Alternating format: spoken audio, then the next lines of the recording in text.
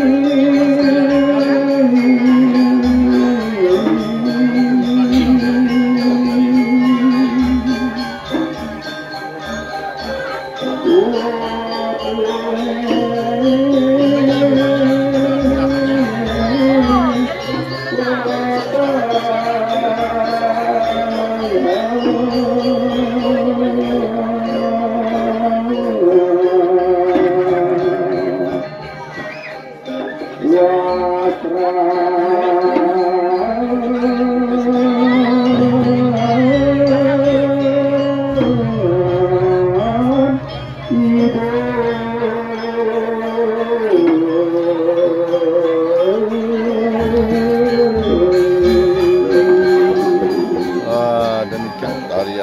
dijalankan